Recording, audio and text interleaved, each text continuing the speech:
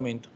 Io in questo, in questo momento andrei proprio a introdurre eh, lo studio, eh, la presentazione di Stefano e questo è il secondo eh, appuntamento di un ciclo di, eh, di interventi che nell'ambito dell'insegnamento, archeologia dell'architettura che tengo presso la eh, scuola di specializzazione in beni archeologici dell'Università di Bologna. E, eh, quindi questo secondo intervento è, eh, sarà svolto da Stefano Bordoni che è un eh, dottorando all'Università di Edimburgo e che si è eh, diciamo, specializzato nello studio della sua eh, terra natia, quindi dell'Umbria. E l'ha presa un po' alla larga, devo dire, perché eh, però eh, direi che eh, questa è una storia abbastanza comune, quindi della eh, fuoriuscita dei cervelli più brillanti per poi mi auguro ritornare, eh, ritornare qui, eh, se non a Bologna, ma perché no, eh, in, altre, in, altre, zone italiane. Bene, io mh, mm, abbiamo già eh, speso i primi minuti in eh, piacevoli chiacchiere e quindi lascerei immediatamente la parola a Stefano e alla sua eh, lezione sulla mensiocronologia. Buonasera a tutti, ringrazio Andrea Ferrini per avermi introdotto e avermi, avermi invitato a diciamo, fornirvi questa lezione su un tema eh, a me piuttosto caro che ho ricercato negli ultimi anni eh, ovvero quello della minozocronologia della Terizzi. Eh, non so, riprendendo quello che ha appena detto Andrea, non so se io mi iscrivo nel gruppo dei cervelli brillanti fuggiti all'estero, però certamente tra quelli fuggiti all'estero, quello sì, eh, non, il brillante lo, lo lascio decidere ad altri. Eh, sì, effettivamente io mi ritrovo in questa particolare situazione geografica, come dicevo anche poc'anzi, ehm, di studiare l'Umbria, che è la mia terra d'origine, eh, facendolo a 1800 km dall'Umbria, quindi da, da, dalla Scozia, dalla fredda e umida Scozia, che oggi, di la verità, è piuttosto assolata, eh, stranamente. Comunque sia, eh, io passo, dopo questa brevissima introduzione, direttamente al PowerPoint, se per voi va bene, e ovviamente al termine potrei farò delle interruzioni per chiedervi se ci sono domande nei singoli eh, aspetti che, che, mostrerò durante la lezione. Eh, qualora invece eh, voleste fare delle domande finali avremo comunque del tempo per, per, le vostre curiosità, per le vostre domande, dubbi, eccetera, eccetera. Quindi passo al PowerPoint.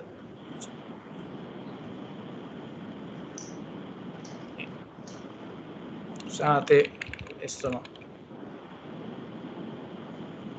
Niente, dovevo fare questo errore. Eccoci qua. Benissimo, allora la cronologia della Delizi su vasta scala nel caso dell'Umbria. Uh, vedremo poi che cosa si intende, cosa intendiamo uh, su vasta scala.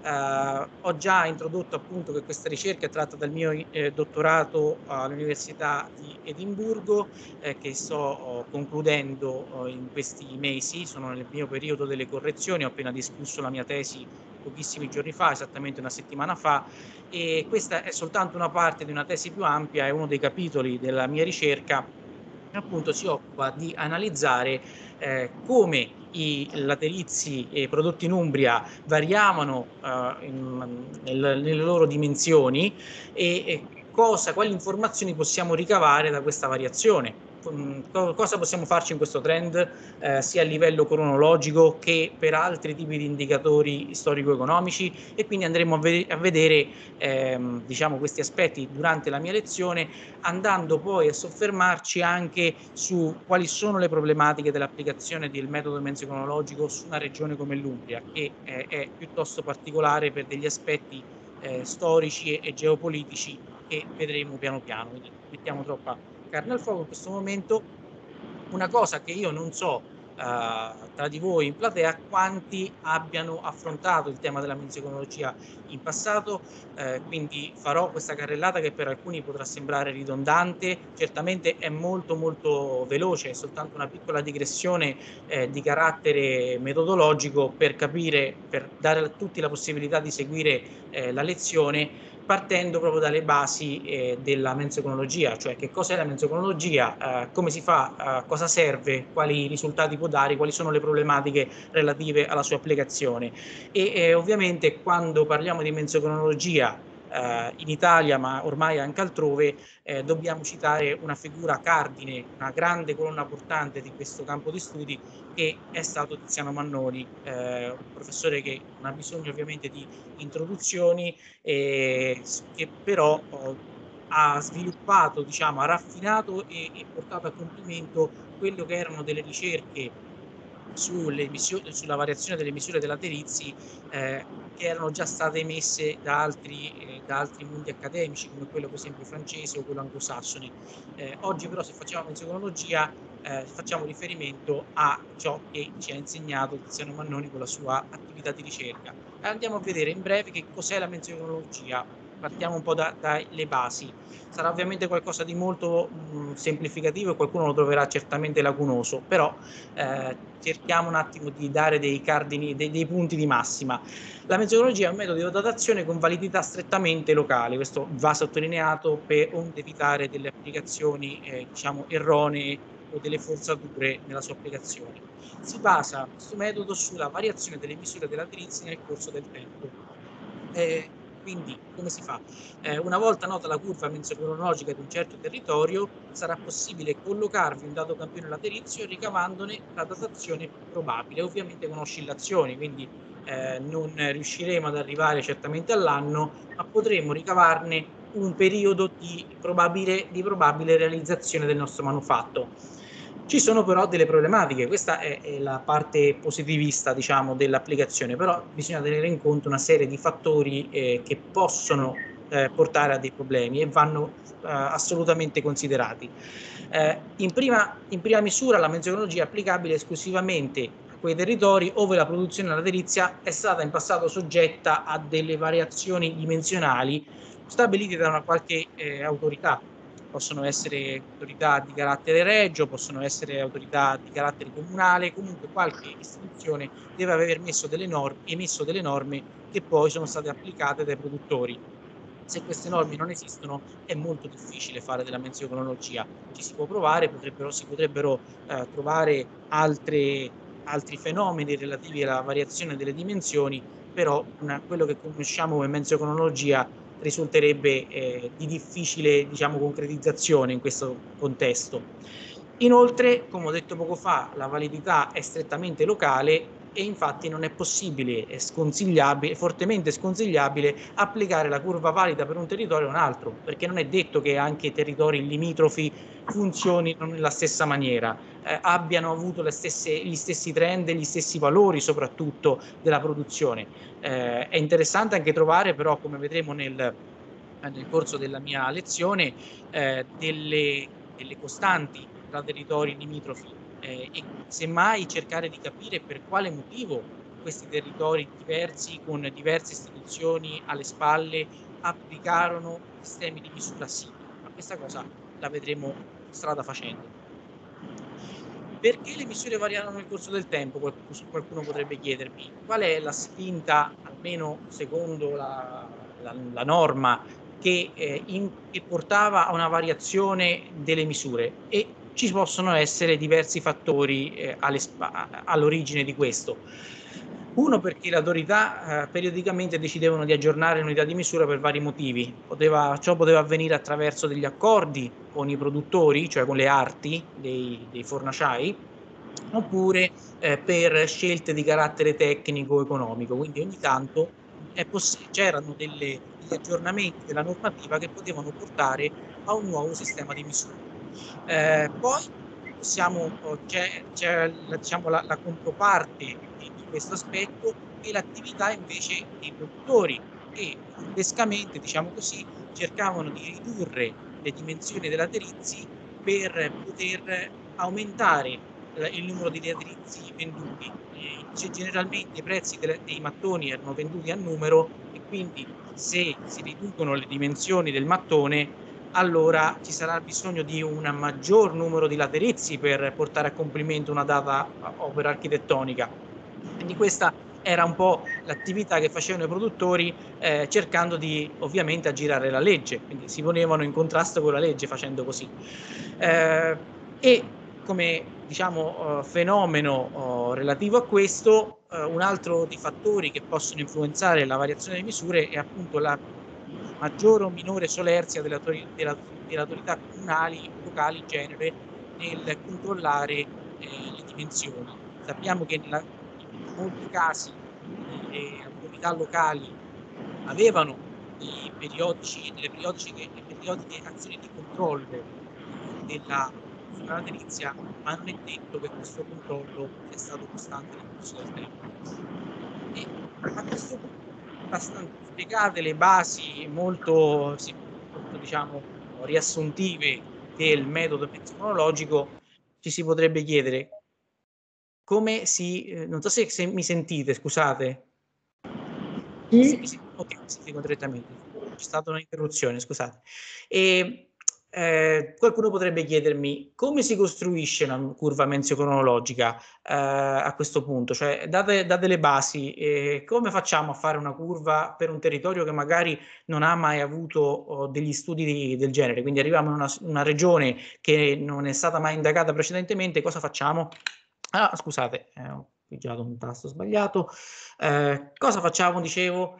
Eh, facciamo una serie di campionature, il più ampio numero di campionature possibile, eh, di eh, superfici murarie e laterizie che abbiano una cronologia nota o perlomeno stimabile. Queste misure devono essere calcolate al millimetro, eh, c'è un numero di campioni minimo che in letteratura viene indicato almeno dai 20 mattoni in su, eh, altri studi parlano di 30 mattoni, ma comunque ecco, questo è un po' il concetto chiave. Bisogna campionare il numero maggiore di, campioni possib- di mattoni possibili da eh, superfici murarie laterizie che abbiano una cronologia nota.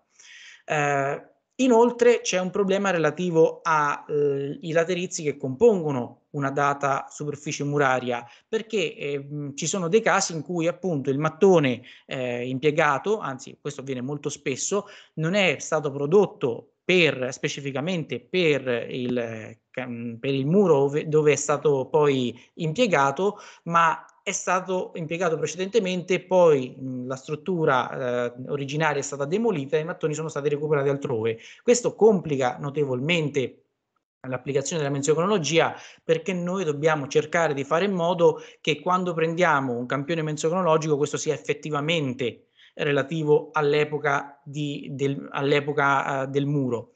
Quindi eh, se abbiamo dei mattoni di recupero eh, stiamo, andremo, rischieremmo di eh, considerare eh, per buoni dei mattoni che in realtà sono stati prodotti magari 100, 200, 300 anni prima.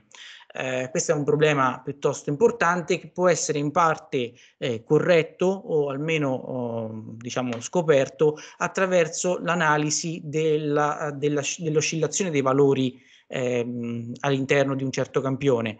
L'oscillazione, secondo i manuali, dovrebbe essere all'incirca uno, uno, un centimetro, un centimetro e mezzo per la lunghezza.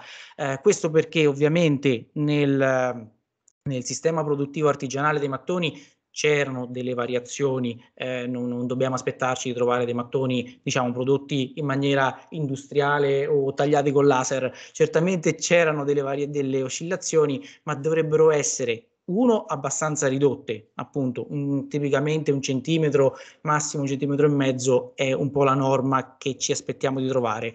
E due, questi valori dovrebbero distribuirsi secondo una curva gaussiana. Perché? Perché la curva gaussiana è quella che descrive un fenomeno oh, relativo a un errore casuale un errore appunto dovuto al, al sistema produttivo artigianale che però è casuale, non è relativo a, a un modello di riferimento. Quindi eh, adesso vedremo poi nel dettaglio, qui sembra un po' probabilmente molto fumoso come, come descrizione, ma lo vedremo poi nel dettaglio nelle prossime slide. Poi un'altra cosa che dobbiamo assicurarci di fare quando costruiamo una curva menzio-cronologica è che i campioni raccolti vengano da territori che hanno avuto omogeneamente una certa unità di misura. Non possiamo andare a prendere eh, campioni relativi a più canoni mensori diversi, perché altrimenti creeremmo un mostro, creeremmo una curva eh, eterogenea eh, che non, non, avrebbe poi un riscontro reale.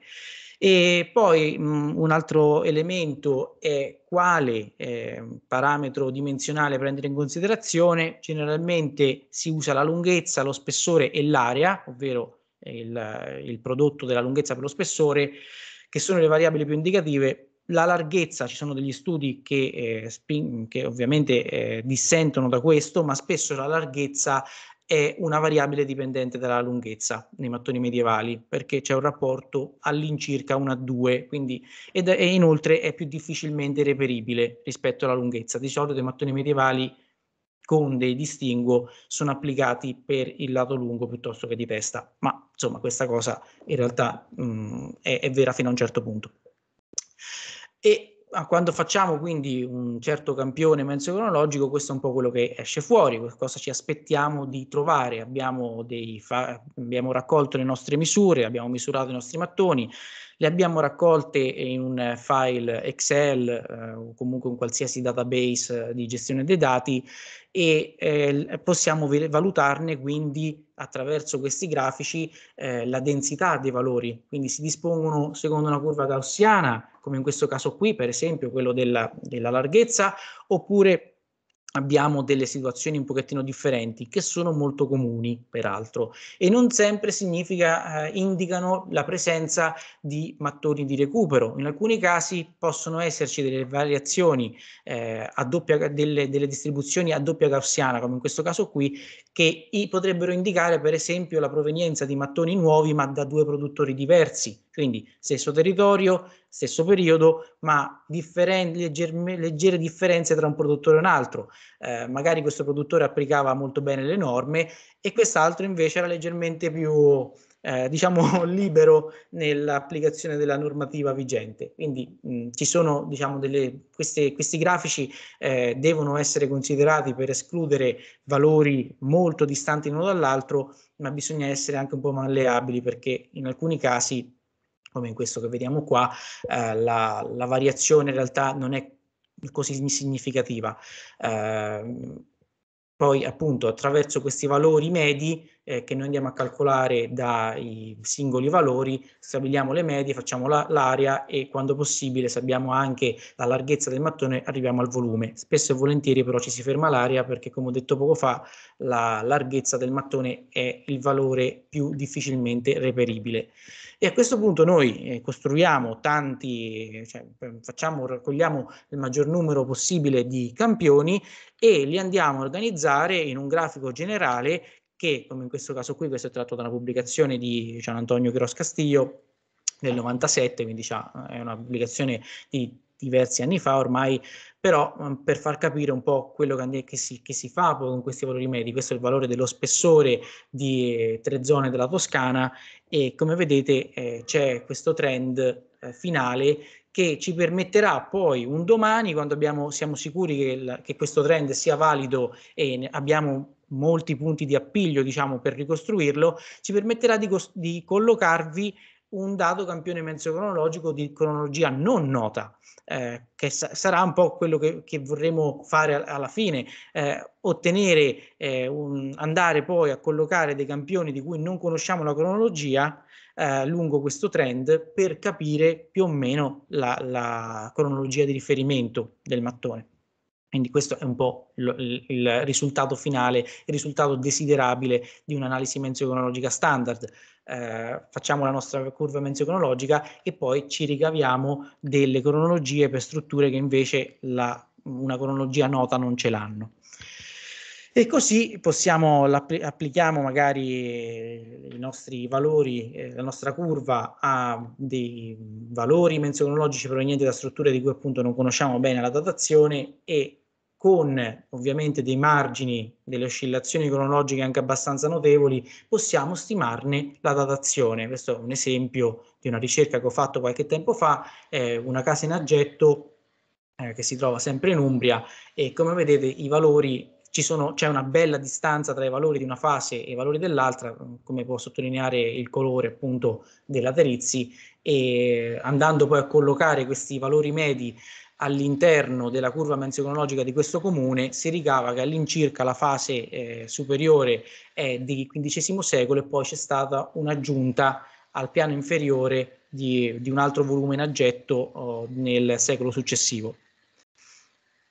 C'è una bella biblioteca di menzionologia, per farla breve sul discorso teorico, eh, che se volete vi posso fornire. Ovviamente questa è soltanto, diciamo, sono i cavalli di battaglia, chiamiamolo così, eh, degli anni 70-80 e i successivi aggiornamenti che, su cui si basa gran parte di questi studi. Non è una lista completa, non me ne vogliate, ci sono sicuramente dei, dei importanti contributi che ho saltato, ma eh, diciamo per avere un'infarinata abbastanza onnicomprensiva sull'argomento eh, questi possono essere dei validi riferimenti, eh, ci sono delle ricerche eh, che stanno andando avanti e stanno portando la menzionologia in territori dove precedentemente non era mai stata applicata, uno è il mio lavoro del 2021 eh, sull'Umbria appunto che non aveva degli studi pregressi alle spalle e un altro invece che segnalo è sull'Abruzzo Aquilano per esempio dove eh, appunto una situazione piuttosto simile a quella dell'Umbria non c'erano non, mm, gli studi stanno arrivando proprio adesso, quindi è un campo molto in divenire, ci sono delle aree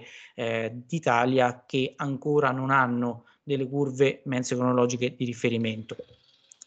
Allora, io sto... Ah sì, scusate, questa è una cosa che è stata accennata subito prima dell'inizio della, della, nostra lezione eh, e che, eh, su cui ho fatto una slide. Eh, la menzionologia, appunto, abbiamo appena detto, è qualcosa che si applica esclusivamente ai laterizi.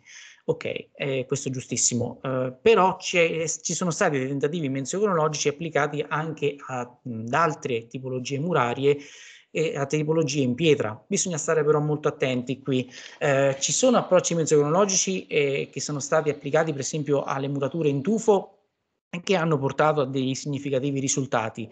Eh, però questo perché il tufo è un materiale molto particolare, eh, quello che si avvicina tra i materiali diciamo naturali è quello che si avvicina di più al sistema produttivo oh, che è valido per i mattoni. I, spesso i blocchi in tufo erano segati secondo misure standard e quindi eh, ovviamente ignorate questa, questa immagine che è tratta da da Google, scusate, eh, si riferisce a una produzione eh, estremamente recente eh, e molto regolare, come vedete, di blocchi in tufo. Però ci sono delle realtà anche storiche dove eh, la produzione dei, dei blocchi tufacei è avvenuta secondo dei criteri piuttosto simili. Quindi in questi casi sono stati applicati di, menzo, di metodi menzio-cronologici che hanno dato della validità. Mannoni e il suo gruppo di ricerca provò a applicare dei criteri menzio-cronologici anche alle murature in pietra, però con eh, risultati non, eh, diciamo, non esattamente eh, eh, non particolarmente di successo.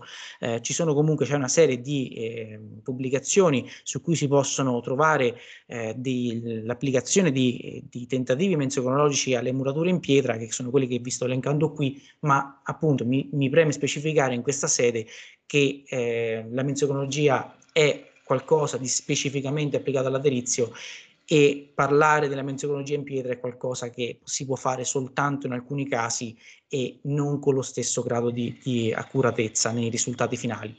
Però possiamo, poi possiamo diciamo, discutere questo argomento anche alla fine della mia lezione, se si volesse.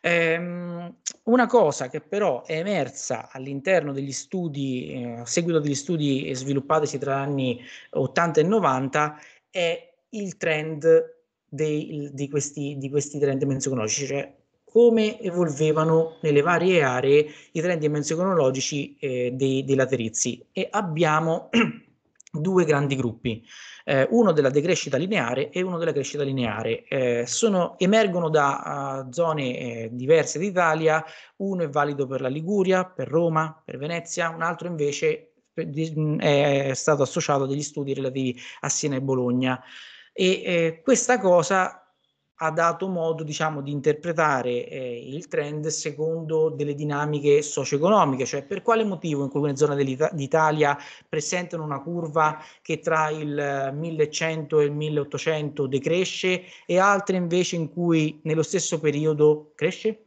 Eh, ci, sono, ci sono stati dei tentativi di interpretazione di questo e che hanno portato appunto a creare un modello secondo cui eh, nel caso di sinistra abbiamo un'egemonia dei produttori e del mercato che spingono a un decremento delle misure dei, dei laterizi e, e, lo fanno in totale autonomia, diciamo, lo fanno in una maniera eh, svincolata da eccessivi eh, eh, paletti posti dalle autorità pubbliche e una, invece un altro modello, quello che vedete a destra, in cui l'egemonia è nelle mani delle istituzioni pubbliche che spingono a una crescita delle misure perché fanno, la fanno da maggiore. Quindi da una parte un, ci sono i produttori che decrescono costantemente nel corso del tempo le misure dei mattoni per aumentare i propri eh, ricavi e dall'altro invece ci sono istituzioni pubbliche che si oppongono fermamente a questo e riescono a mantenere i mattoni eh, di dimensioni notevoli, anzi addirittura a decrescere. Quindi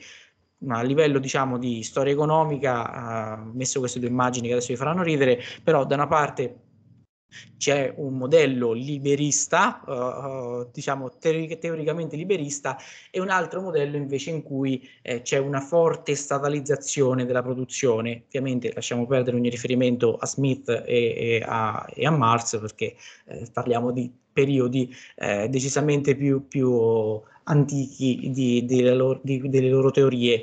Eh, in ogni caso, quello che eh, mi preme sottolineare qui, al di là della, della validità dei due modelli, è questo corollario, ovvero la museologia è un metodo oh, di datazione, sì, ma fornisce anche dei dati o può fornirli perlomeno sull'assetto economico di un certo territorio. E quindi e questo aspetto sarà quello che eh, andrò a rimarcare più e più volte nel corso della mia lezione perché effettivamente quando si applica la meteorologia all'Umbria e ad altre realtà come l'Umbria, forse questo è l'importanza principale, più ancora della, uh, della, possibilità di utilizzarla a fini eh, di datazione. Uh, prima che passo direttamente a parlare del mio contesto, uh, vi chiedo se tutto è chiaro, se ci sono delle domande al momento, se ci sono dei dubbi, eh, se no vado, continuo con la mia lezione, ehm, onde evitare che ci siano uh, diciamo delle cose che non sono state chiarite in partenza. Eh, no, scusate, scus non sento benissimo. Sì. E volevo chiedere, quindi per studiare le murature di, di pietra è meglio la cronotipologia? Uh, in realtà Mannoni e tutto il campo di studi parla di analisi delle tecniche murali che possono anche avvalersi di metodi quantitativi, anzi dovrebbero, uh, però eh, diciamo non c'è una, ci sono diversi valori che sono stati sottolineati dagli studi eh, che sono relativi alle dimensioni, alle tecniche di finitura, alla, alla, forma geometrica o meno delle, dei blocchi, alla loro regolarità, alla presenza di zeppe. Ci sono una serie di indicatori che quindi sia di carattere quantitativo che di carattere qualitativo, però um, e, e, questo per me, può permettere, secondo la letteratura, di eh, ricavare delle tipologie che possono in che che, possono avere una, una, validità di carattere cronologico. Quindi non è proprio una, né una cronotipologia né una menzocronologia, ma è qualcosa che si pone un po' con delle specifiche si pone un po' in mezzo, ha dati sia, eh, si, si eh, basa sia su dei parametri di carattere numerico che su dei parametri di carattere invece eh, qualitativo. Non so se ho risposto alla domanda, ma è, è, è, un, è, un, tema diciamo, che meriterebbe una lezione tutta sua, quindi eh, sono costretto a rimanere molto sul generico. Se la farete io ci sarò, quindi... Volentieri. Grazie. Lo chiediamo a Andrea. Interessa- molto interessante finora, veramente bello.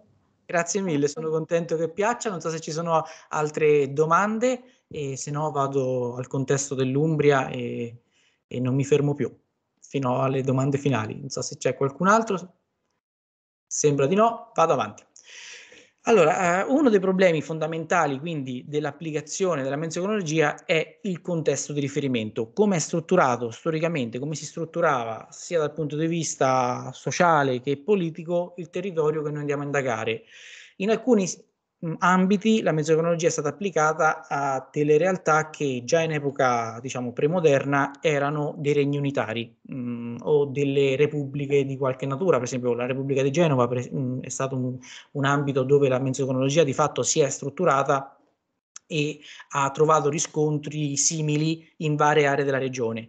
Eh, ci piacerebbe che questo si applicasse anche all'Umbria, ma assolutamente no, non si applica eh, neanche lontanamente perché l'Umbria in realtà era un insieme di città e lo è stato fino al 1860, così come tutto lo Stato Pontificio. Mm, è stato uno Stato, diciamo per modo di dire, eh, è stata più che altro una federazione di diverse città che riconoscevano in maniera anche piuttosto dialettica il, la supremazia di Roma e del, del governo appunto papale. Pensate che eh, appunto l'immagine di, di sinistra mostra com'era l'Umbria a grandi linee nel 1791 con per esempio oh, Gubbio che ancora faceva parte del Ducato di Urbino ma Uh, da lì a poco sarebbe stato considerato parte dell'Umbria. Ci sono anche altre zone che attualmente fanno parte della Toscana e delle Marche eh, che facevano parte rispettivamente della provincia dell'Umbria, che in realtà era la provincia di Spoleto, e, e della provincia di Orvieto. Eh, in ogni caso, al di là della specificità dei singoli territori, quello che eh, va sottolineato è quello che vedete sulla Uh, sulla destra, uh, ancora nella prima metà dell'Ottocento vi erano 17 diversi sistemi di misura validi in Umbria. Immaginate che, che, che caos, quindi ogni centro, anche di piccole dimensioni, uh, dai 3.000 abitanti in su, emetteva un proprio sistema di misura. Questo si ripercuota anche sulle unità di misura relative ai laterizi, come potete capire. E, e per esempio, questa schermata vi fa vedere Ehm, una, tutte le, tutte le eh, varie eh, cittadine o città che sono state citate qui, che vengono indicate nella mappa, hanno un sistema di misura dei laterizi documentato dalle fonti scritte. Quindi abbiamo una notevole quantità di diversi canoni eh, che eh, venivano applicati nei singoli centri. E come vi ho detto precedentemente, la menzocronologia è un metodo di datazione specificamente locale, non possiamo considerare eh, la, la curva menzocronologica di un territorio per un altro. Questo significa che purtroppo dobbiamo ricostruire un trend menso-cronologico per ciascuno di questi canoni mensori e come capite la cosa si fa estremamente complicata rispetto a un contesto invece eh, di carattere parastatale unitario. Quindi ehm, inoltre se si va a ridurre, se si va a, diciamo, a scomporre eh, la quantità di edifici databili del territorio, si va anche a ridurre il dataset disponibile per ciascuno di questi canoni di riferimento. Quindi avremo alcune realtà meglio documentate dove si può ricostruire per grandi linee il trend dimensione cronologico, ma altre invece mal documentate dove avremo pochissimi campioni con cui avere qualche informazione di carattere menzionologico. Questo è una, una limitazione intrinseca uh, ineluttabile, non possiamo fare nulla al riguardo, uh, però appunto è molto importante tenere, eh, tenere questa cosa in conto eh, onde evitare poi di, eh, di mal comprendere quello che vi mostrerò da qui a poco. Facciamo un salto indietro, io oggi parlerò della menzionologia dei laterizi eh, a partire dal 1200 fino al 1800, ma volevo un attimo fare una piccola digressione su quello che sappiamo della produzione dei mattoni in Umbria eh, a partire dall'età romana. L'Umbria è stata in età romana una grandissima produttrice di mattoni, specialmente in questa area eh, che corrisponde alla Valle del Tevere centro-meridionale eh, che vedete circondata da questa ellisse rossa, eh, è una zona che, per cui si conoscono diversi impianti produttivi, ma ehm, e se ne conosce anche la proprietà appunto relativa a famiglie senatorie o imperiali romane, ma appunto anche per, eh, questo, per, per il tipo di proprietà eh, che, che riguardava, producevano specificamente per il mercato romano. Quindi la diffusione dei laterizi eh, da questi impianti produttivi era eh, molto più diciamo, um, focalizzata su Roma che sul resto dell'Umbria. Eh, non a caso il, la quantità di strutture eh, in laterizio o interamente in laterizio direi in Umbria età romana è piuttosto limitata. Eh, c'è questa schermata che vedete, eh, questi, questi, campioni eh, sulla sinistra che di fatto eh, descrivono la gran parte di quello che abbiamo disponibile. Non abbiamo molti campioni più di questi, diciamo, quindi eh, una gra- c'era una grande discrepanza tra eh, gli impianti produttivi e la distribuzione in ambito regionale. Passando poi, questa è una carrellata velocissima, eh, sono tutti argomenti su cui ci si potrebbe spendere di fatto una, una lezione a parte, quindi sarò velocissimo. Passando al mondo oh, tardantico, alto medievale e anche del, del primo basso medioevo, c'è di fatto nelle fonti un silenzio totale sulla presenza di laterizi, sulla produzione di laterizi, scusate, con dei distinguo molto molto rari. In un paio di siti, questo è uno, parliamo dell'abbazia di Petroia vicino Città di Castello, ci sono indicazioni di possibili produzioni specializzate eh, in epoca precedente, in 1200, che è un po' come vedremo tra poco il momento di eh, riesplosione della produzione laterizia eh, medievale. Ci sono queste lastre che su base stilistica sono state datate eh, intorno all'undicesimo secolo e eh, sono, sono, lastre laterizie. Quindi po- è possibile che, come documentato altrove in Italia, anche prima del, dell'esplosione del boom edilizio basso medievale ci siano state in cantieri di carattere monastico o cantieri comunque elitari di ambito religioso eh, delle produzioni, anche se ovviamente sporadiche, relative soltanto al cantiere e, e, e senza continuità. Quello che sappiamo però è che a un certo punto, appunto come ho detto poco fa, intorno al 1200-1250, abbiamo una uh, grande esplosione del mondo del, del, del mattone. Il mattone uh, si, si, rifà la sua comparsa e come vedete questo è il trend della quantità dei laterizi nel corso del tempo estratto da 640 murature che ho studiato da tutta la regione. Eh, come vedete eh, c'è una linea più in basso dove non ci sono laterizi, quindi 0% laterizi, la linea più in alto invece è il 100%.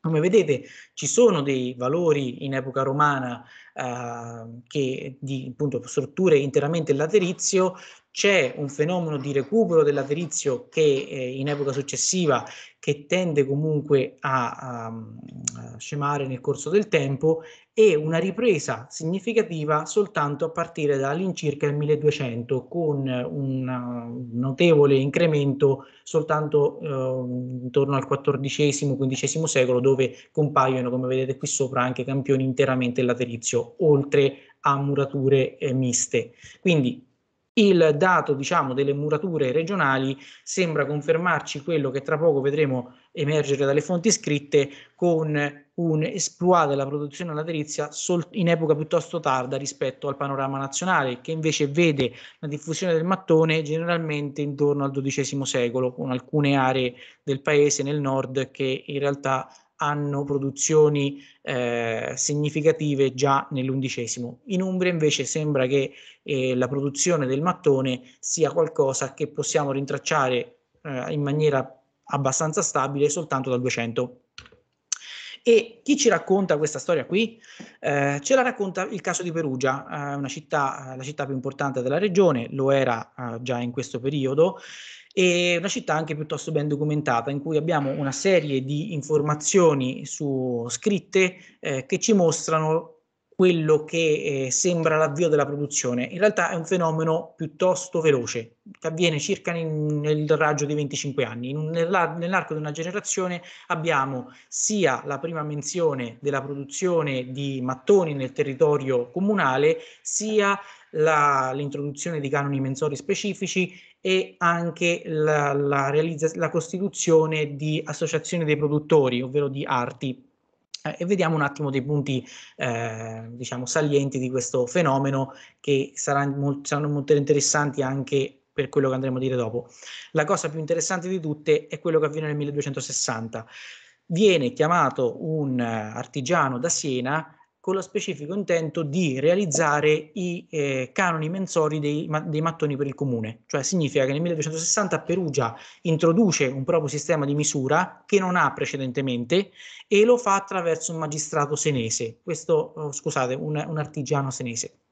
Quindi questa cosa è piuttosto interessante perché abbiamo la provenienza di questa persona e vedremo come influisce il, eh, nel, com, com, diciamo, è molto interessante su quello che staremo, stiamo per dire.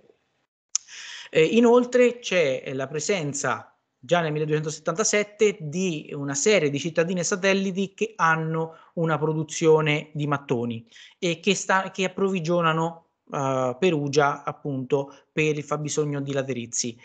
Nel 1279, quindi due anni dopo, abbiamo la prima associazione che viene costituita uh, e riconosciuta dal comune, eh, con, a cui viene imposto di utilizzare le unità di misura emesse dal comune stesso e per la prima volta si ha menzione di una produzione di laterizi in ambito periurbano, subito fuori alla porta mh, sud di Perugia.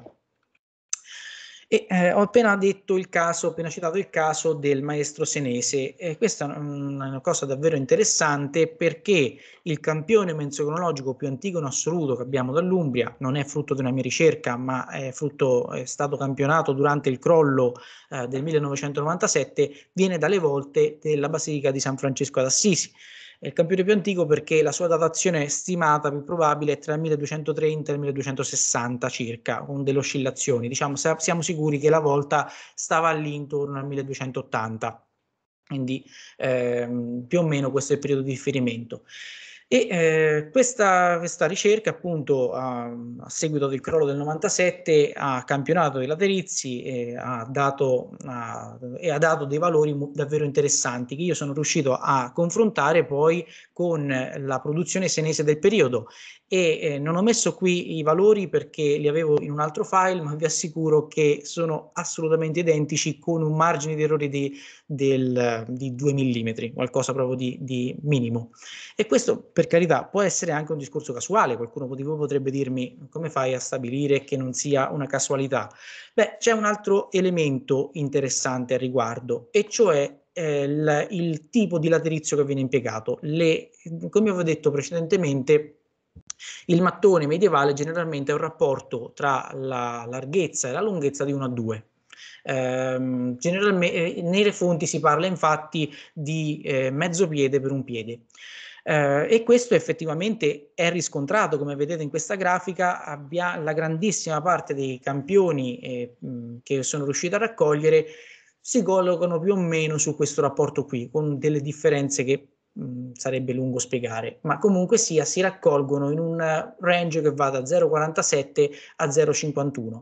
C'è soltanto un valore che si distingue nettamente da questo mondo qui, e cioè quello proprio delle volte di San Francesco d'Assisi, che però eh, rispondono al canone senese anche da questo punto di vista. Allora abbiamo un mattone che compare ad Assisi per la prima volta o è tra i primissimi diciamo eh, utilizzati nella regione che eh, guarda caso ehm, adotta le stesse unità di misura di Siena in un mondo in cui sappiamo che le unità di misura erano state eh, introdotte quello dell'Umbria, un mondo dove appunto le unità di misura sono state introdotte da un maestro senese, non mi sembra più un, gran, un caso ed è anche un, un canone diciamo dimensionale che poi non ha continuità con il resto della produzione laterizia per come la conosciamo in Umbria. Quindi sembrerebbe effettivamente confermarsi che che, che, le primissime eh, unità di misura applicate al mattone in Umbria in realtà siano state mutuate da Siena. E, e questo poi non ha avuto continuità per una evoluzione delle misure dei, dei mattoni eh, dovuta a fenomeni prettamente regionali oppure a una mancata continuità tra la prima produzione e quella più stabile a partire dal 300 e magari l'importazione di canoni da altre regioni. Questa è una domanda a cui io non, non posso ancora rispondere, però c'è questo interessante fenomeno di eh, importazione, quello che sembra emergere è un'importazione del modello esatta, eh, direttamente da Siena senza la creazione in origine di un qualcosa di, di totalmente innovativo o diverso. Per quanto riguarda Perugia abbiamo oh, poi tutta una serie di impianti che si dispongono nel territorio, eh, abbiamo, ho già detto che nel due, già nel 200 c'erano diversi, diversi villaggi o insediamenti con eh, fornaci attestate, in realtà il numero di fornaci di centri, di centri produttori aumenterà esponenzialmente e una delle documentazioni più interessanti su questo argomento viene dalla costruzione della Rocca Paolina. La Rocca Paolina oggi mh, potre, ne potete vedere dei resti, eh, non esiste più nelle sue dimensioni mastodontiche originarie, era una grandissima fortezza costruita da Papa Paolo III nel 1542-45. Pensate che questa struttura quasi interamente in mattoni, ha richiesto la, la produzione di 3 milioni di laterizi nel raggio di tre anni.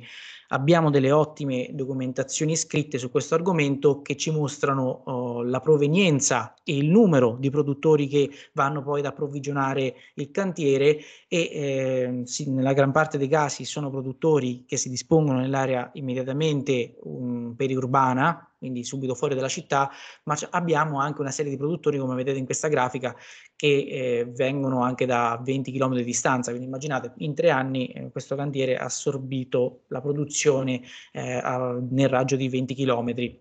Pensate che eh, occorre, uh, furono necessari 50 produttori diversi per soddisfare le necessità della costruzione, quindi diciamo produzioni davvero importanti. Però facciamo di nuovo un passo indietro per capire come eh, la produzione laterizia si sviluppa. Eh, sarò brevissimo qui, altrimenti rischiamo di dilungarci troppo, ma nel 300 abbiamo delle attestazioni eh, documentali che ci, eh, ci testimoniano eh, l'espansione del fenomeno della produzione laterizia e della legiferazione mh, inerente nelle comunità della Valle Umbra, quindi comunità a distanza di 20-30 km da, da Perugia. Eh, cosa interessante, l'emissione di leggi inerenti a questo aspetto avviene negli stessi anni in città che si trovano a distanze piuttosto ridotte l'uno dall'altro. Quindi abbiamo Spoleto che nel 1347 emette la sua legislazione, vedremo tra poco che lo fa anche Assisi nel 1349 e Foligno che lo fa nel 1350. La legge più interessante di tutte è quella di Spoleto che è molto dettagliata e farà un po' sembra che faccia un po' da riferimento poi per le leggi emesse in zona successivamente e parla di, di, questo, parla di queste tre attività diverse. Uno uh, stabilisce delle misure specifiche per i mattoni, uh, lunghi un piede, larghi mezzo piede, come abbiamo visto poco fa, e spessi tre dita. Uh, stabilisce poi l'emissione eh, la produzione da parte del comune di forme eh, che siano marchiate con il sigillo comunale e vengono distribuite a produttori che poi le devono rispettare, le devono utilizzare per produrre laterizi e inoltre a conferma di qual è il ruolo diciamo molto forte dei comuni nella, nel facilitare la produzione laterizia, eh, il loro diciamo il ruolo di supervisione della produzione laterizia, il comune di Spoleto si occupa anche di comprare un terreno dove installare una fornace che sappiamo esattamente dove si trovava subito fuori, anche in questo caso come Perugia nel 1279, subito fuori l'area urbana, e lo attrezzi con una condotta idrica, ovvero con un acquedotto, una condotta che porti l'acqua, perché sapete che per produrre i mattoni serve l'argilla, il combustibile, ma anche tanta acqua per il processo di purificazione e di foggiatura. E eh, qual è il riscontro poi eh, pragmatico dell'estensione della produzione laterizia e delle leggi relative alla produzione laterizia in Umbria? Sono queste cose qua, sono appunto delle forme dei, dei modani o in Umbria si, nelle documentazioni umbre sono spesso definite scede, eh, che appunto descrivono le eh, forme dei laterizi stabiliti per legge. Venivano esposti in aree pubbliche, possono, potevano essere eh, messe nel, nella facciata del palazzo comunale, per esempio, in altri casi la chiesa più importante, il Duomo eh, della cittadina, eh, l'unica cosa che purtroppo um, spesso e volentieri nella grandissima parte dei casi non abbiamo è la datazione di questi canoni mensori perché eh, come, come avevo detto anche in precedenza i comuni spesso li aggiornavano, quindi non sappiamo uh, in molti casi a che età, a che periodo facciano riferimento queste, queste misure standard. Ehm, l'esempio più interessante di tutti è quello che proviene da Sisi per l'interessantissima iscrizione che corre sia nella parte superiore che quella inferiore dell'epigrafe e che ci parla appunto sia della datazione 1349, quindi molto antica eh, rispetto al contesto delle produzioni laterizie umbre, ma soprattutto ci adombra, uh, ci, ci dà un'informazione interessante su oh, qual è eh, il tipo di mattone che viene esposto eh, qui. Nella letteratura troverete che eh, molto spesso si fa riferimento a queste forme come quelle delle casseforme, cioè come eh, quelle del mattone prima che venga cotto. In realtà eh, qui eh, l'epigrafe sembra piuttosto chiara nel dirci che questi, eh, queste forme di riferimento si riferiscono in realtà al, da, al mattone cotto, al mattone eh, nella sua fase, nel, a seguito del processo di cottura e quindi su questi aspetti bisogna stare un po' attenti. Insomma, se facciamo una carrellata generale della regione abbiamo un po' questo, questa um, tavola sinottica abbiamo Perugia come primo centro, appunto, Perugia e dintorni, come primo centro di attestazione della produzione laterizia. Abbiamo un'astensione nel corso del 300 ad, eh, ad aree limitrofe dall'Orvietano alle comunità della Valle Umbra, come vi ho detto in precedenza, e poi soltanto nel corso del 4 e del 500 un'estensione ulteriore ad aree periferiche e soprattutto alla catena appenninica come nel caso di Norcia, dove comunque le produzioni laterizie rimarranno piuttosto sporadiche, piuttosto limitate, soprattutto per, data la, la, grande abbondanza della pietra, uh, mentre invece città come Perugia, che hanno avuto un, grandissimo fabbisogno uh, di materiali costruttivi per il proprio sviluppo pur non avendo delle cave eh, nei dintorni, hanno eh, mostrato una notevole quantità di, di, di fabbisogno laterizio. Quindi anche eh, diciamo, la geologia del territorio influisce poi su questo tipo di sviluppi. E adesso finalmente, eh, dopo che ho fatto una carrellata introduttiva eh, lunghissima, possiamo parlare un attimo dei trend che vediamo. Ovviamente ne, tra ne tratteremo, trattere tratteremo questo argomento in maniera molto generale, eh, onde non tediarvi troppo, e soltanto andando a, a, verificare quegli elementi che sembrano essere di particolare, eh, di particolare interesse, di particolare risalto. Soprattutto ci sono dei, dei, trend comuni tra città diverse. Qui ho messo città relativamente ben documentate, ma molto diverse l'una dall'altra. Abbiamo Perugia, come vedete, che è la città, come ho detto, più grande della regione, ma abbiamo anche Montefalco che si trova a 40 km, è un piccolissimo centro, quindi parliamo di insediamenti che eh, hanno diciamo, delle caratteristiche molto differenti l'uno dall'altro. Allo stesso tempo però mostrano degli interessanti punti in comune, punti di contatto.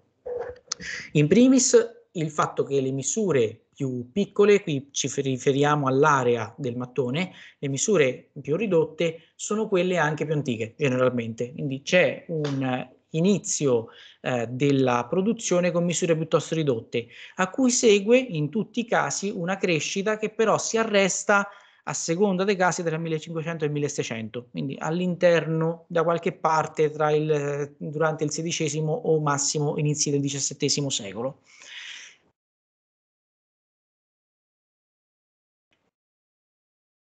Eh, in alcuni casi anche piuttosto marcato, ma allo stesso tempo, nello stesso periodo di declino che abbiamo appena citato, c'è anche la comparsa di misure totalmente diverse che in, part- che in alcuni contesti sembrano anche eh, comparire in precedenza, ma sono piuttosto ricorrenti, soprattutto tra il XVII e il XIX secolo.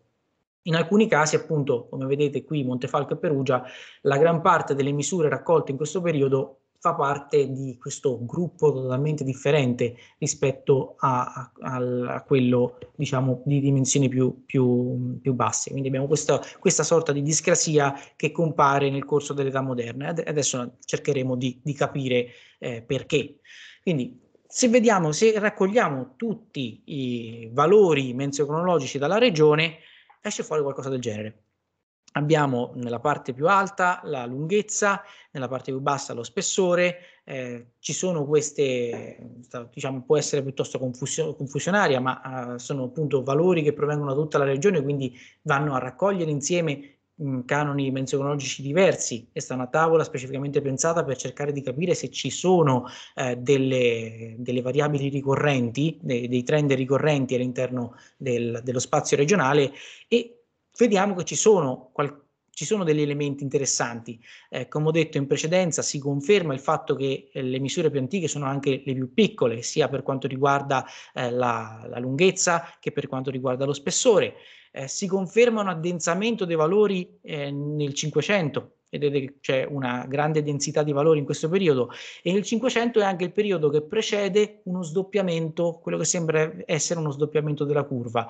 Lo cogliamo molto bene qui, Um, vedete che c'è eh, il trend in rosso, ma il trend in questa fase tra il 600 e l'800 e il 900, scusate, mh, attraversa, non attraversa in questa fase alcun valore concreto, perché in realtà ci sono due gruppi distanti, distinti, scusate, eh, uno più piccolo e uno più grande. Quindi eh, sembra esserci, se uno bada al trend, un grande incremento, ma in realtà eh, ci sono in realtà c'è, c'è, un trend che si sdoppia. Eh, da una parte c'è un decremento delle misure di quello che sembrerebbe essere un tipo, eh, diciamo, un, il mattone singolo, e dall'altra parte c'è la comparsa del mattone doppio. Adesso eh, che possiamo verificare molto bene anche eh, dal, dal, dato del, dell'area che raccoglie la variazione dei due valori. Quindi, come si conferma, eh, come abbiamo visto poco fa, abbiamo un incremento una sostanziale stagnazione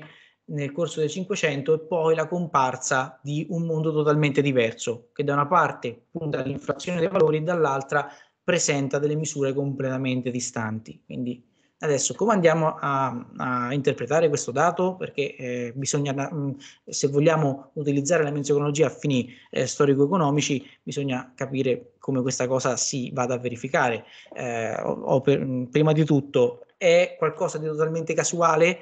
Ho effettuato delle analisi statistiche che non ho messo qui per brevità perché altrimenti eh, avremmo fatto sera, eh, che dimostrano con chiarezza che questo trend non è casuale. I valori sono concentrati a sufficienza per dire che c'è un modello di riferimento, non c'è una, una distribuzione dei valori random.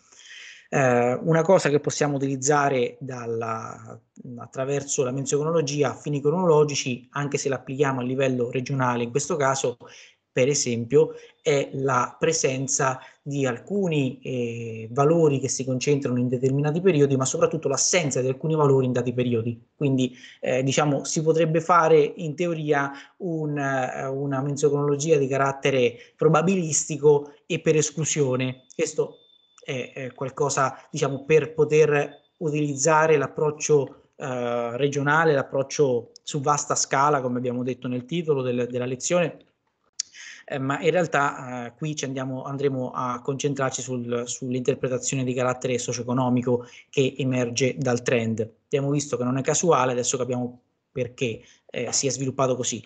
E prima abbiamo visto uh, che eh, vari, nelle varie regioni italiane emerge, eh, emergono due gruppi, quello della crescita e quello della decrescita. L'Umbria sembra collocarsi in una sorta di terza via, come abbiamo, visto poco fa. C'è una crescita che eh, si protrae tra il 1300 e il 1500, una stagnazione diciamo, un periodo di assestamento delle misure e poi da una parte la, una decrescita dei valori del, del, mattone che potremmo definire singolo e la comparsa del mattone doppio, che è tutta da interpretare perché eh, non, non, ha grandi attestazioni nel mondo scritto, non ha spiegazioni, diciamo, nelle fonti scritte. Adesso cerchiamo di capire con tutto questo come potrebbe essersi venuto a creare. Eh, se, mh, sulla base della, delle teorie sviluppate in, in altre regioni, ehm, questo trend potrebbe spiegarsi intanto a livello generico con la prevalenza delle istituzioni pubbliche nella crescita dei valori iniziale, una crisi di qualche natura tra il 1500 e il 1600 e un nuovo assetto completamente diverso in cui in qualche modo i produttori prese, ebbero la meglio, presero in mano la situazione, anche se bisogna capire per quale motivo um, improvvisamente compaia il mattone doppio. Una delle possibilità, intanto, una delle possibili spiegazioni per capire per quale motivo eh, le varie realtà eh, della regione, pur mettendo canoni di misura propri, eh, andarono sostanzialmente ad uniformarsi, specialmente in alcuni periodi come il Cinquecento, ehm, potrebbe essere, potrebbe risiedere nell'esistenza dell'import-export, cioè del, dell'esportazione o importazione dei laterizi eh, all'interno dello spazio regionale. Ah, la prima domanda che si potrebbe fare è eh, sì, eh, molto bello, però oh, avete, esistono attestazioni di questa dinamica eh, in Umbria? Assolutamente sì. Abbiamo già nel 1342 Perugia, che è in, nella fase del pieno boom edilizio, abolisce la tassazione sui materiali edilizi, quindi dà dimostrazione di aver bisogno di importare eh, materiali costruttivi da fuori perché eh, ha una crescente, una crescente necessità di eh, materiali per l'edificazione dell'espansione urbana. Nel 1386 un piccolissimo comune che si trova nell'angolo oh, nord-orientale dell'Umbria eh, fa, fa, una cosa che eh, apparentemente ha poco senso, bandisce l'esportazione dei laterizi del proprio territorio allo stesso tempo però applica le misure della vicina Fossato di Vigo, che è una, una cittadina che si trova eh, dall'altro lato dell'Appennino, in eh, territorio marchigiano. Quindi per la prima volta abbiamo l'attestazione di, eh, di un comune che eh, applica le misure di un territorio limitrofo, non sviluppa delle misure proprie, anche se teoricamente è dipendente da Perugia, applica quelle di, Fossato, di, di Fabriano, scusate, quindi complica un po' eh, le cose e allo stesso tempo bandisce l'esportazione degli aterizi. Questo però significa che se si fa la legge per bandire le esportazioni c'è un fenomeno di esportazioni, altrimenti non si sarebbe fatta la legge. Eh, altre ehm, attestazioni di esportazioni che vengono legiferate compaiono nel, nel XV secolo in Valle Umbra. Abbiamo Bevagna che nel Cinquecento decide di applicare quelle, le misure messe da Perugia, anche in questo caso abbiamo una comunità piccola che eh, imita o applica le misure di un altro territorio. Per Bevagna siamo sicuri che questo avviene per cercare di, favori di favorire le esportazioni verso Perugia. E poi abbiamo delle crisi del, sull'esportazione laterizia il, durante il Cinquecento in alcune comunità della Valle Umbra che, che, le bandiscono. In ogni caso, se uno mi chiede eh, ci sono attestazioni dell'esportazione laterizia, la risposta è assolutamente sì e quindi questa cosa può, uh, può giustificare un fenomeno di parziale omologazione delle unità di misura tra i vari territori. Inoltre, come vedete nella schermata di destra, abbiamo Perugia che rispetto al territorio attuale del, del comune eh, aveva una, una, sfera di influenza so, mh, sia politica che economica decisamente più ampia. Uh, in realtà mh, questa linea è pure abbastanza riduttiva perché Perugia aveva um, dei rapporti, diciamo, di carattere, di, una supremazia di carattere politico anche verso alcune comunità eh, che attualmente si trovano in Toscana, ma anche all'interno della Valle Umbra. Quindi la presenza di una città egemone che aveva una sua ampia area di influenza potrebbe aver favoreggiato anche eh, questo processo di omologazione. E inoltre i valori ci mostrano un fenomeno interessante, eh, cioè un fenomeno di parziale, di proto-industrializzazione della produzione. Eh, andando ad analizzare la deviazione standard dei valori eh, dei vari campioni, cioè quanto oscillano i valori eh, dei, dei, vari mattoni utilizzati nei, nei diversi campioni, si ricava che questa oscillazione decresce tra, tra, il basso medioevo e la prima età moderna per poi di nuovo risalire durante l'età moderna tra il 600 e l'800 e di nuovo decrescere in quella che possiamo ben eh, identificare come eh, l'epoca industriale. Quindi c'è una proto-industrializzazione seguita da una deindustrializzazione e di nuovo l'industrializzazione vera e propria. E questo, questa cosa eh, sembra confermare un evento critico che si sviluppa nel corso dell'età moderna. Qui in età moderna, intorno al 1600, è avvenuto certamente qualcosa di eh, decisamente eh, impattante sulla produzione. Cerchiamo di capire che. Uno dei, dei temi che emergono dall'analisi menzionologica regionale è la capacità di grip, di controllo dei comuni nei confronti del loro territorio. Allora, quanto questi comuni, questi comuni legiferavano ovviamente non soltanto per l'area urbana, ma teoricamente per tutto il territorio da loro controllato. Siamo sicuri che riuscivano a controllarlo proprio tutto? Ci sono attestazioni materiali della presenza, della capacità dei comuni effettiva di eh, essere sovrani, diciamo, dei produttori posti anche in zone molto periferiche? Qui mh, la domanda è ancora aperta, c'è un interessante caso che nel corso mia, del mio survey ho verificato che il, per esempio la, la, similianza tra, delle misure tra uh, questa chiesa che si chiama Madonna della Sbarra a Panicale, Panicale mh, scusate ho messo Paciano ma in realtà Panicale è un insediamento uh, di, di, di, circa 30 km da Perugia quindi a una notevole distanza rispetto al centro e se la confrontiamo con i valori dei laterizi della scalinata uh, di, della chiesa di San Domenico dentro il centro storico di Perugia, realizzata nei stessi anni abbiamo una sostanziale sovrapposizione, cioè mh, ci, sono dei, ci sono per carità delle differenze di un millimetro, ma eh, mi sembra abbastanza uh, accettabile, diciamo, per un mondo di produzioni artigianali. E quindi una risposta del genere potrebbe essere affermativa. Allo stesso tempo, però, notizia proprio di queste ore, notizie in diretta, sto effettuando mh, delle ricerche su alcuni edifici eh, della cittadina di Città della Pieve, all'epoca eh, controllata da Perugia, che stanno mostrando in qualche maniera invece dei valori sui generis. Quindi la risposta è un ni. Ci sono alcune realtà che effettivamente sembrano essere sottoposte al controllo centrale, ma eh, bisogna stare attenti perché alcuni centri produttivi o alcuni periodi potrebbero essere usciti dalla sfera di controllo dei comuni quindi eh, la, la, legge potrebbe essere stata applicata in maniera parziale o non applicata per niente.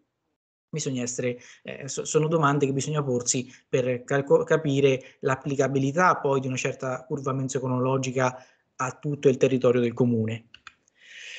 E eh, abbiamo avuto modo di affrontare eh, il tema della crisi della produzione in età moderna. Ci sono una serie di segnali nelle fonti scritte eh, che ci permettono di eh, interpretare questa cosa, almeno possono dare delle chiavi di lettura per capire che è successo effettivamente tra il 500 e il 600, perché la curva subisce tutte quelle variazioni, si inverte, crea un mattone che, non, che precedentemente non c'era, crea questo mattone doppio che, mh, mm, che, ne, che le fonti scritte neanche ci, ci, permettono di comprendere. Beh, nel, cor- nel, corso del 500 e del 600 abbiamo alcune fonti scritte che effettivamente ci dicono che c'è qualcosa che non va o sta cambiando. Eh, ci sono segnali, per esempio, su problemi di approvvigionamento del combustibile, alcune autorità comunali si eh, impegnano a cercare di fornire ai produttori eh, del, del, combustibile per le proprie fornaci perché evidentemente c'è una carestia di questo, di questo tipo di materiali che è, diciamo, è, è imprescindibile per il funzionamento di una fornace. Ci sono delle inchieste che vengono emesse per esempio da Perugia, Perugia un svolge un'inchiesta eh, sulle proprie fornaci eh, durante la seconda metà del Cinquecento e, e, i commissari di questa inchiesta scoprono una variazione media del 16%, quindi c'era una, una sostanziale riduzione eh, del prodotto delle fornaci rispetto alla norma. E poi eh, ci sono delle misure protezionistiche sull'esportazione che ci fanno capire che c'è qualcosa che non va nella produzione laterizia, ci sono delle lamentele sulla, sulla qualità dei laterizi che appunto risulta scadente eh, e soprattutto c'è un grande silenzio delle fonti su ulteriori eh, modifiche dei sistemi di misura. Prima, tra il, tra il 300 e il 400, abbiamo visto mh, e anche nel 500 a dire la verità, abbiamo visto una serie di eh, autorità comunali che emettevano propri, eh, propri sistemi di misura, li aggiornavano, eh, avevano una normativa che in maniera piuttosto serrata si occupava di controllare eh, le, le, misure dei laterizi. A partire dal 600 tutto ciò scompare e c'è un totale silenzio delle fonti. Ci sono ancora delle attività di controllo ma non c'è più un aggiornamento della normativa. Questa cosa potrebbe anche significare che la normativa andava bene così, non c'era nessun bisogno di di aggiornarla oppure no, oppure c'è, c'è effettivamente una, um, si comincia a perdere il controllo sulla produzione. E queste cose possono avere delle, dei riscontri con la realtà storica che conosciamo in questo momento. Eh, il periodo tra il 500 e il 600 è un periodo molto particolare in Italia centrale, soprattutto in Umbria. Abbiamo la crisi dei comuni che, che, avviene per eh, l'immissione del diretto controllo pontificio eh, tra il 400 e il 500, soprattutto arrivano questi governatori eh, mandati da Roma che di fatto esautorano le autorità comunali dal diretto controllo delle cittadine. Eh, c'è un primo processo diciamo, di unificazione che non, non, si concretizzerà mai pienamente delle varie eh, comunità dell'Umbria. Inoltre eh, i comuni che precedentemente erano nelle mani della, della borghesia, quindi dei centri dei ceti di carattere eh, mercantile o artigianale, i comuni diventano di fatto degli uffici periferici eh, del, del, governo papale eh, sotto l'egemonia delle, delle, aristocrazie. Quindi di fatto i produttori che precedentemente avevano una grande voce in capitolo attraverso le proprie arti eh, all'interno della macchina comunale, di fatto perdono qualsiasi rappresentanza. Ormai c'è l'aristocrazia che comanda e, ed è un'aristocrazia che secondo alcune ricerche eh, svolte su altri settori di carattere com- artigianale eh, si disinteressa completamente della supervisione, della coordinazione ehm, del, produ- delle produzioni. Quindi questa potrebbe essere una spiegazione per capire eh, perché a un certo punto le misure eh, si alterino in maniera quasi spiegabile. Inoltre, eh, questo potrebbe essere una spiegazione per il, la mancanza di combustibile, eh, ci sono delle, delle, fonti che ci dimostrano una vera e propria sovrapproduzione e sfruttamento eccessivo delle risorse, specialmente boschive, nel XVI secolo. In poche parole, si arriva a una crisi perché non c'è più nulla da bruciare, si è bruciato tutto. E infine c'è un discorso più di carattere generale che è una crisi economica lunghissima che lo Stato pontificio subisce, soprattutto nelle sue aree periferiche.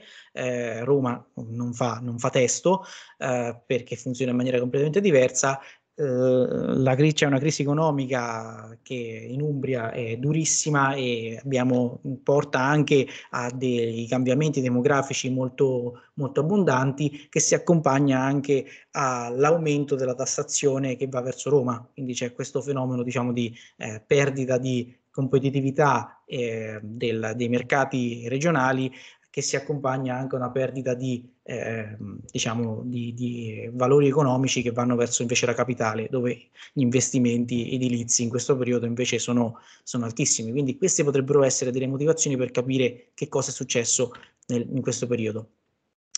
E bisogna trovare una giustificazione anche al mattone doppio, cioè è stata una lunga frode eh, come, come potrebbe essere oppure ha delle motivazioni tecniche. Intanto le, ci sono pochissime fonti che ce ne parlino. La, la, fonte più antica in assoluto è del 1589, viene citato per la prima volta in Umbria in una fonte scritta e questo coincide quasi esattamente con il dato archeologico, quindi sappiamo che dovrebbe comparire al, negli ultimi anni del Cinquecento.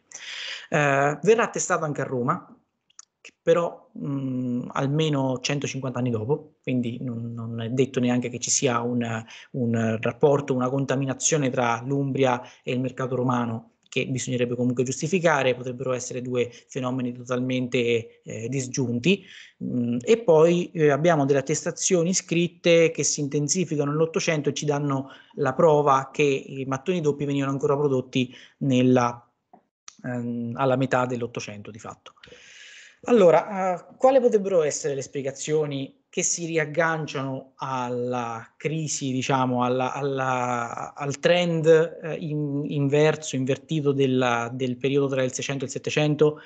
Allora, il mattone doppio potrebbe essere dovuto a questioni di carattere tecnico-economico, uh, potrebbe, mh, favori, poteva favorire per esempio i tempi complessivi di costruzione, perché eh, avere un mattone più grande significa che eh, l'assemblaggio dei mattoni eh, diciamo avviene eh, più velocemente, si costruisce più velocemente, c'è un minor uso di malta, allo stesso tempo però ci sono uh, delle problematiche relative alla messa in opera perché pesa di più uh, o al trasporto per esempio, quindi questa cosa è una possibilità. Oppure, e questa è un'interpretazione che da alcune fonti che non ho messo qui sta emergendo in queste settimane, è possibile che in realtà i, sia stata una grande furbata, scusate il termine, dei produttori, produrre un multiplo del valore del mattone nominale, del mattone singolo, ma se si guarda al quindi produrre, produrre, questo mattone che vale teoricamente due mattoni, ma se si va a vedere il volume in realtà non corrisponde a due mattoni. Non è un mattone doppio, ma è circa 1,7 mattoni e quindi potrebbe essere stata questa un escamotage per eh, poter eh, in realtà ehm, frodare gli acquirenti. Questa è un'interpretazione ancora in fieri che sta emergendo attraverso alcuni eh, dati, delle fonti scritte che proprio stanno comparendo in questo periodo.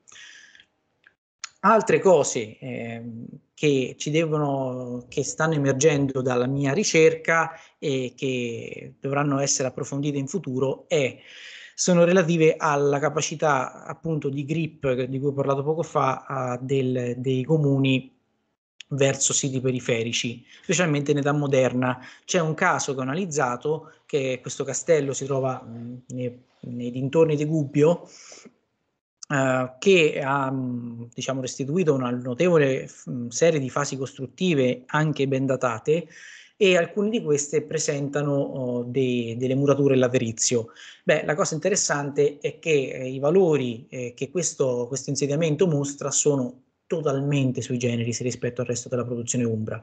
Eh, andiamo da lunghezze, per esempio, come vedete nella grafica, eh, da 25 fino a 37 cm, non c'è niente di tutto ciò nel resto della regione. Generalmente in Umbria i mattoni si mh, pongono una, uh, con, hanno lunghezze tra i 27 e i 33 cm al massimo, quindi questo sito emerge per le particolarità, per le oscillazioni eh, del delle misure anche a distanze piuttosto ravvicinate eh, a livello cronologico. Quindi sembra mh, mm, avere dei mattoni che non hanno paragoni nel, nel resto della regione. Sarà allora interessante vedere che c'è qui una fornace documentata eh, tra il 1741 e il 1808. Allora viene il, viene il dubbio, viene il seguente dubbio. Non è che, che il, il, proprietario di questo castello, anche proprietario della fornace, sfuggisse in qualche maniera alle, ehm, alle normative vigenti a Gubbio nel periodo? È possibile che le produzioni private per autoconsumo eh, siano totalmente sfuggite o parzialmente sfuggite alla produzione alla legiferazione dei laterizi emessa dai comuni? Questo è un tema che complicherebbe e, certamente complica, già vi dico, eh, l'applicazione della mensoeconologia ed è qualcosa che dobbiamo tenere in conto. Non è detto appunto che i comuni siano riusciti ad avere eh, la propria supremazia applicata anche su delle produzioni strettamente locali e non destinate ad essere poi vendute o diciamo commercializzate. Di questo è un, un qualcosa che andrà certamente ricercato in futuro e che già sembra emergere dalle documentazioni.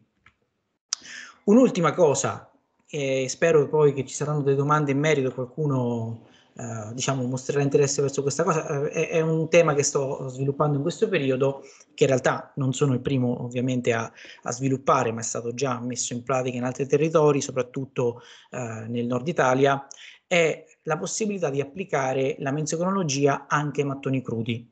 In Umbria abbiamo alcune rarissime strutture superstiti eh, che presentano laterizi non cotti, laterizi impiegati soltanto dopo il processo di seccatura, di essiccatura, scusate.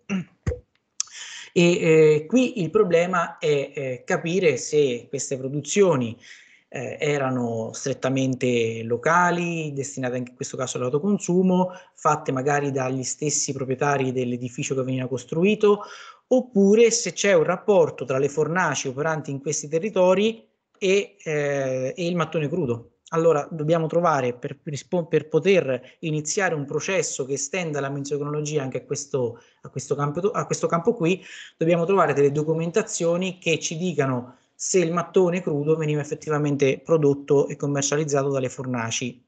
E eh, dopo um, alcune peripezie notizia di pochi giorni fa, esce fuori questa bellissima fonte scritta che sono riuscito a trovare in un archivio in Umbria, siamo nel 1589 e abbiamo l'attestazione scritta che ci dice che i fornaciai e ciascuno di essi sia obbligato a vendere e dare lo lavorio, cioè il lavoro, di ogni sorte, quale ci sia la fornace, cotto o crudo. Quindi abbiamo l'attestazione che i fornaciai, almeno in questo caso qui, commercializzavano ma anche mattoni crudi, anche prodotti non cotti. E io ho fatto una grande carrellata oggi, ho messo un sacco di benzina sul fuoco, adesso mi aspetto le vostre domande, spero che eh, le cose siano state chiare. Sono in realtà, come vedete, ancora in fase di elaborazione eh, da parte da, da, me stesso, quindi eh, sono cose che io in alcuni casi vi metto in maniera molto preliminare ancora. Però eh, sono curioso di sapere le vostre opinioni in merito e aspetto quindi i vostri quesiti. Vi lascio anche il mio contatto per volessimo restare in contatto anche dopo e, e quindi attendo le vostre domande. Allora, grazie Stefano, veramente stimolante. È una di quelle presentazioni veramente che apre, che apre e interesse su, su, su, questa, su, questa, disciplina. E in genere gli interventi sono fatti, cioè spingono molto sulla, sulla parte metodologica e magari la parte storica viene tralasciata, invece in questo caso direi che eh, hai sfruttato, hai fatto vedere come si sfrutta il dato dimensionale per fare storia, eh, per trovare quindi eh, aggiungere qualcosa in più a quello che si sapeva, su quello che si sapeva su, su determinati territori. Quindi sicuramente, eh, come ti avranno già detto i tuoi revisori, eh, hai fatto, credo, un lavoro interessante e ben fatto. Ci sarebbero un sacco di cose da chiederti, per esempio, e poi lascio la parola a, a, a Elena. E, appunto il primo, il primo, aspetto riguarda la metodologia di acquisizione dei dati. No? Mm. Spesso accade, eh, ci hai fatto vedere delle cose belle, magari qualcuno vuole provare, no? quindi mm. eh, quali sono magari i tool, quali sono gli strumenti o i metodi che, eh, che ritieni fondamentali quando si va a raccogliere il dato. E l'altra cosa eh, riguarda alla fine eh, eh, diciamo, dell'acquisizione, quali sono invece gli strumenti utili per trattare il dato, per elaborare il dato e quindi magari ci sono delle, delle tecniche in più che utilizzi eh, rispetto al classico Excel o, o, o, o cose simili. Quindi diciamo, visto che la parte storica è ampiamente trattata, magari si potrebbe sapere qualcosa di più invece su, sul metodo di, di, raccolta e di elaborazione dei dati. Magari, sì, eh, eh, magari, magari, sottolineando le cose un pochino più particolari che so che, che hai fatto, ovviamente per quello che te lo chiedo. Sì, eh, il, il, discorso dell'acquisizione dei dati io utilizzo un sistema piuttosto ibrido, cioè eh, ove possibile faccio misurazioni dirette accompagnate poi però anche a misurazioni eh, di carattere fotogrammetrico. Eh, ovviamente eh, sono diciamo delle, tutti e due aspetti che possono portare a degli errori sia di carattere strumentale che di carattere umano. C'è un po' una diatriba sul fatto su quanto sia affidabile eh, l'utilizzazione della fotogrammetria per avere misurazioni mh, piuttosto precise, precise al millimetro. Io ho eseguito delle, delle, misure di controllo e ci sono delle variazioni nel risultato oh, della misurazione diretta, diciamo con, righello, con rotella metrica o con fotogrammetria, ma una, la, la, la, la differenza è nel range di un millimetro quindi parliamo di variazioni piuttosto eh, ridotte quando applicate ovviamente, quando ad alta risoluzione ed applicate a degli specifici elementi costruttivi, ovvero a una serie di mattoni. Se andiamo poi ad estendere il campo a un'intera facciata abbiamo dei valori, eh, diciamo dei range d'errore nettamente, nettamente superiori. Inoltre c'è il discorso che anche con, eh, utilizzando una rotella metrica, un metro, una riga, una, qualsiasi cosa diciamo di pragmatico che si può tenere in mano, eh, comunque sì avremo degli errori. Perché eh, andando a confrontare, se confrontiamo eh, diverse, diversi metri, diversi righelli metrici, eh, non ci sarà nessun righello metrico uguale all'altro, ci saranno delle piccole variazioni, magari di un millimetro, magari di due, ma già ci sono degli errori strumentali intrinseci eh, lì eh, inoltre c'è l'occhio umano che eh, nel, deve, deve, capire dove inizia e dove finisce il mattone e se chiediamo a 10 persone diverse questa cosa avrà, avremo 10, eh, almeno 5 interpretazioni differenti. Quindi io nell'acquisizione dei dati utilizzo queste due eh, metodologie che mi aiutano a essere il più corretto possibile e allo stesso tempo mi aiutano anche a approcciare dei casi dove è difficile andare manualmente ad apporre il nostro righello, perché magari i nostri mattoni, la, i mattoni più interessanti o, o di, maggior, di, maggior, conservazione si trovano a 3 metri d'altezza, che sono piuttosto bassino, non ci arrivo, soprattutto non, difficilmente mi arrampico su scalandrini o roba del genere. Quindi ehm, questo già il fatto di poter andare a analizzare dei campioni che si trovano ad altezze non, non elevatissime, eh, ma comunque superiori a quella umana, è un vantaggio. Um, ovviamente eh, quando è possibile integro le due cose insieme quando, quando, riesco. E questo sull'acquisizione dei dati. Poi non so, se ci, so se ho risposto compiutamente o se ci sono altre curiosità.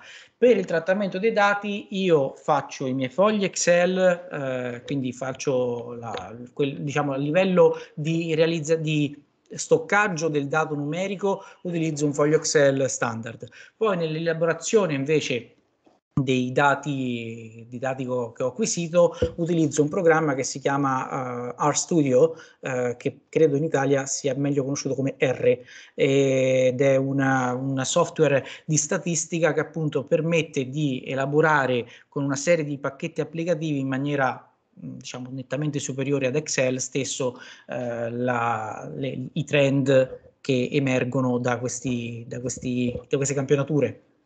Non so se ho risposto o no, se... Perfetto, perfetto. Elena? Io ho sostanzialmente due domande. Una, una di metodo di uso della mensocronologia, nel senso che ehm, a me è recentemente capitato durante una consulenza di confrontarmi con una collega e lei di solito applica la mensocronologia con il modulo che se ho capito bene eh, prevede praticamente di misurare quanti mattoni ci stanno dentro una striscia larga un metro. Eh, io invece applico il metodo mh, descritto molto bene da Anna Boato nel suo manualetto L'archeologia dell'architettura e quindi misuro i singoli mattoni sostanzialmente. Volevo chiedere qual è il metodo migliore e più affidabile e la seconda domanda invece è più, tra virgolette, storica mm-hmm. nel senso che io ehm, tempo fa, un paio d'anni fa, ho fatto uno studio molto molto amatoriale sulle tavole delle misure di alcune città, proprio a scopo divulgativo. Sì. E, e quindi ho esaminato anche la tavola delle misure, anzi le tavole delle misure delle città di Castello, soprattutto quella dei laterizi. Sì. E, e mi, se non mi ricordo male proprio de, di fine 500, mi sembra 1590. 1594, sì. È relativa ai mattoni crudi. Sì. Quindi volevo chiedere se questa tavola delle misure può testimoniare la ven- sia la vendita di laterizi crudi, sia avere un, diciamo, un, un significato nella crisi del 600, cioè diciamo tra, tra il 500 e il 600, come una testimone della necessità di, ehm, di, di un comune di ribadire quali erano le misure. Poi, ultimissima cosa, mi scuso per la mia ignoranza, cos'è il mattone doppio? Ah, benissimo, non... sì, forse non ho spiegato bene questa cosa. Allora, tre, tre domande interessantissime. Allora, nel, per quanto riguarda la prima, io misuro i mattoni singoli eh, cioè faccio due cose diverse in realtà. Per la menzionologia utilizzo, eh, analizzo i mattoni singolarmente, quindi eh, vado a campionare le misure di quelli generalmente più conservati, perché come capite bene eh, all'interno della muratura che ha avuto 700-500 eh, anni di storia, ci sarà una serie di laterizi che per varie ragioni non sono diagnostici, non, non aiutano, eh, essendo parziali, essendo stati danneggiati, erosi, eccetera, eccetera, non, non, daranno delle, dei risultati ottimali, oppure specialmente quando vengono eh, parzialmente eh, ricoperti da, da calce, da, da malta. Eh, se non riesco ad apprezzare il valore del laterizio nella sua interezza o almeno al meglio del, del, del possibile escludo quel, quel, valore perché altrimenti mi porterebbe a dei valori, a de, delle conclusioni eh, errate, darebbe dei, dei risultati falsati. Per quanto riguarda invece l'analisi delle tecniche murarie, ma come ho detto nella schermata relativa parliamo di due mondi che hanno dei punti in contatto ma anche tante differenze, mi occupo anche di, sta- di stabilire la quantità di laterizi all'interno di un campione standard da 2x2, eh, però ecco, sono due strade eh, che possono essere complementari ma hanno anche, diciamo, so- sono, sono, distinte. Um, poi, eh, per quanto riguarda la, la, la, misura di Castello, di Città di Castello, 1594, è la più recente, diciamo, tra le varie che di, di cronologia nota o stimabile, quindi è una cosa molto tarda.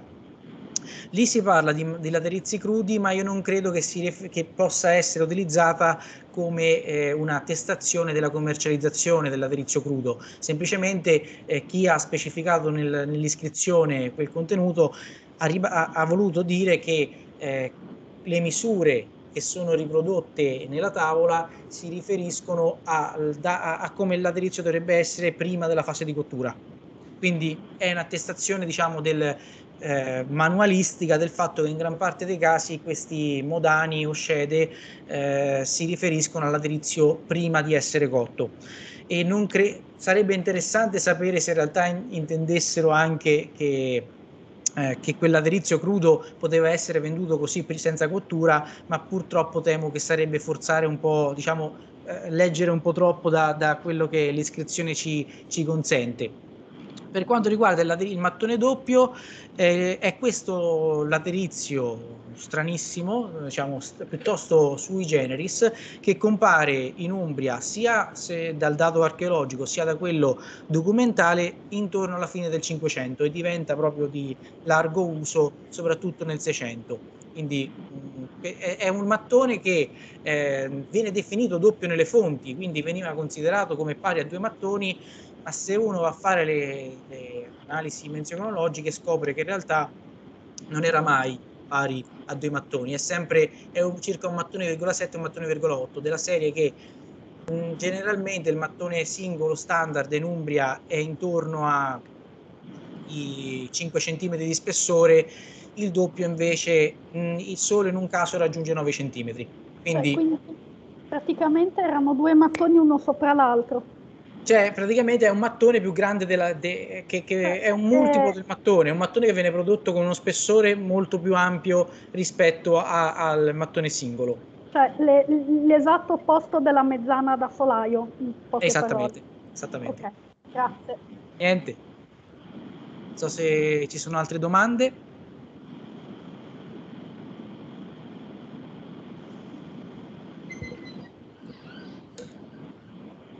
Non so, forse posso, posso chiedere una cosa io a questo punto, dato che c'è questo silenzio spettrale.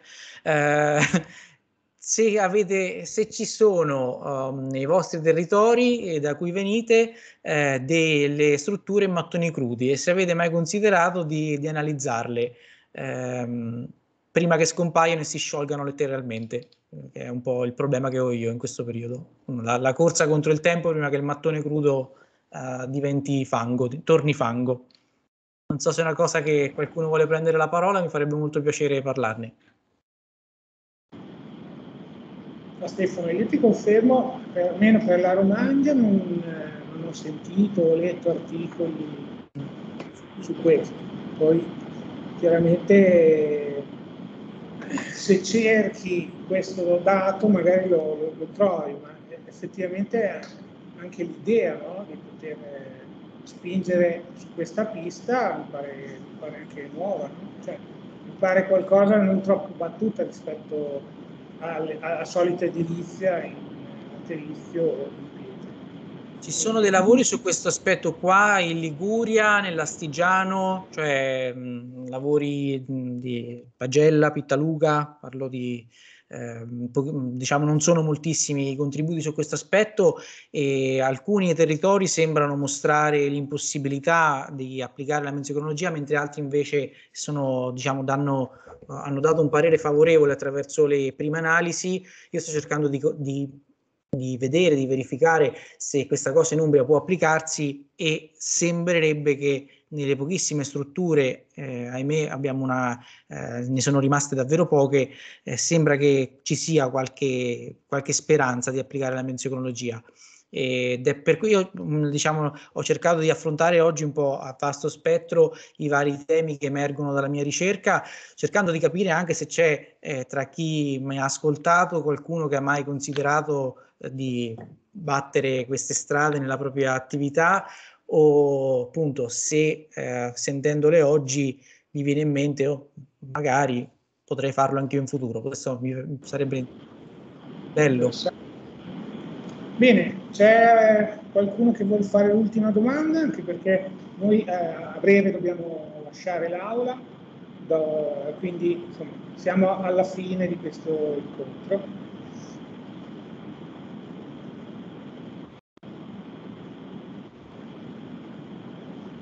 Bene, allora direi che noi possiamo sicuramente salutarci. Domani ricordo che, eh, diciamo che ringraziamo ancora Stefano per eh, la qualità del suo intervento. Grazie a e, voi per avermi ascoltato, grazie. E eh, ricordo che domani ci sarà l'ultimo incontro, sempre alle 15. Questa volta il tema sarà l'archeologia dell'architettura a Roma eh, le prime sperimentazioni e come si è evoluta nel tempo. Benissimo, un saluto a tutti. Buona a presto, giornata. grazie ancora, arrivederci.